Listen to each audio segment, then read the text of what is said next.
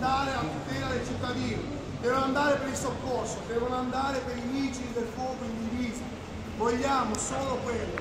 Quindi è importante che oggi siamo tutti qua a protestare. Andremo davanti al suo eccellenza il prefetto, manderemo una lettera che adesso vi leggerà Basile, dove chiediamo che lui si interfacci con i poteri forti del palazzo. Questo si sta facendo qui a Novara, lo sta facendo Cuneo come Piemonte occidentale, Novara lo fa come Piemonte orientale, lo sta facendo la Lombardia, lo sta facendo tutte le province d'Italia sono oggi davanti ai prefetti.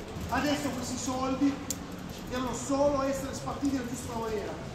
Poi noi non ci fermeremo, Prizzi, dopo lo sciopero della fame, non si fermerà fin quando l'equiparazione non sarà totale. Tutto questo, siamo oggi in piazza come tutte le altre piazze italiane, la maggior parte, per la richiesta di questi ulteriori 50 milioni circa per l'equiparazione totale. Attraverso l'assegno funzionale che tutte le forze di polizia hanno e l'aumento dell'indennità di rischio di ognuno di noi. Attualmente l'amministrazione dei vigili del fuoco, ripeto, ha, dato circa 60, ha proposto di dare 60 euro di indennità di rischio a tutti noi e 45 euro a un amministrativo che è in ufficio a fare pratiche di ufficio. Quindi il CONAPO è assolutamente contro a questa proposta perché gli operativi che rischiano la vita e sono qui stamattina devono avere la giusta indennità di rischio, devono avere come la seconda la proposta devono avere il 100% dei fondi dell'articolo 15 del soccorso pubblico e devono essere a favore di tutti i vigili del fuoco operativi. La cosa più, più importante è il messaggio, il messaggio che ha dato Antonio Brizzi, da solo a Roma a fare sciopero della fame, cosa che molti di noi non avrebbero fatto. Ho tanta equiparazione totale e soprattutto che nell'articolo 15 ci, sia, ci, sia ci siano la divisione dei fondi siano dedicati solamente agli operativi dei vigili del fuoco, questa è la cosa importante, come non vogliono altri sindacati.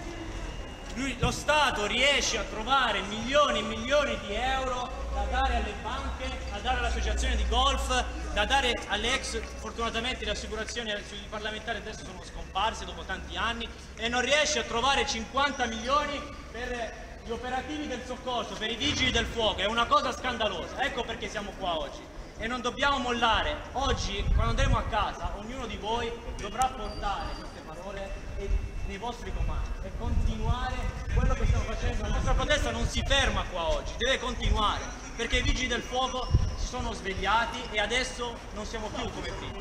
Nel 2004, nel 2004 eravamo vicini per l'ingresso al comparto sicurezza e i, classici, i, i, i sindacati confederali non hanno permesso ciò, hanno fatto il gioco delle tre carte e hanno nascosto la possibilità Oggi come adesso, grazie ai social, grazie all'informazione, i colleghi siamo tutti più informati, li possiamo smascherare.